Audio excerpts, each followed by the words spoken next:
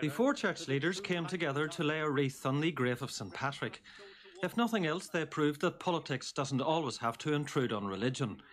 After the political wrangle of the past week, Cardinal Ó Fiaich and the Presbyterian moderator, Dr. Howard Cromie, with the Archbishop of Armagh, Dr. John Armstrong, and the Reverend Paul Kingston of the Methodist Church, were remembering that St. Patrick is the patron saint of all Christians in Ireland.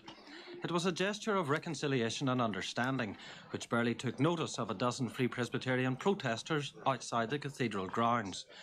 The Church of Ireland Bishop of Down and Dromore, Dr. Robin Eames, said that they came together aware of differing ideas about the future, aware of anger and suspicion, and much grief and bereavement. We meet together in this shadow of suffering and sadness.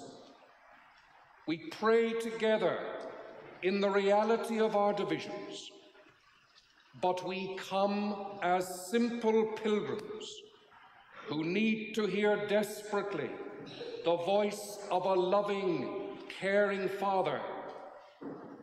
We ask today for His peace, His spirit of love, as we seek a way forward. There were also several parades throughout the north. Shortly after this one on the Falls Road, Orange men paraded to a church service on the nearby Shankill.